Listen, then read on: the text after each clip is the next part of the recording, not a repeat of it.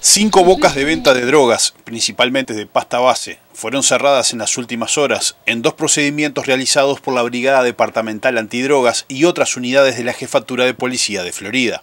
Eh, se llevó a cabo eh, cuatro allanamientos simultáneos en la ciudad de Florida. Eh, mediante un análisis y una investigación que venía llegando la Brigada de Antidrogas de nuestro departamento. Eh, más allá de lo que nosotros veníamos investigando, el punto de vista de la comercialización, de, ya sea de, estupefacientes o, marihuana, muchos efectos hurtados. Las denominadas Operación Tomás y Operación El Arca recuperaron armas, celulares, dinero en efectivo y lograron imputar a un hombre y una mujer de 20 y 32 años a cargo de una de las bocas y a otras cuatro personas de 23, 26 y 31 años.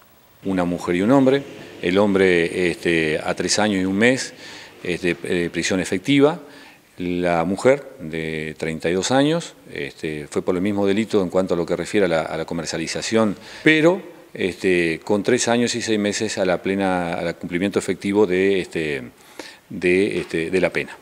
En uno de los casos habían robado efectos a un agente policial y los investigadores lograron recuperar elementos robados, 6 mil dólares y casi 70 mil pesos, así como sustancia estupefaciente.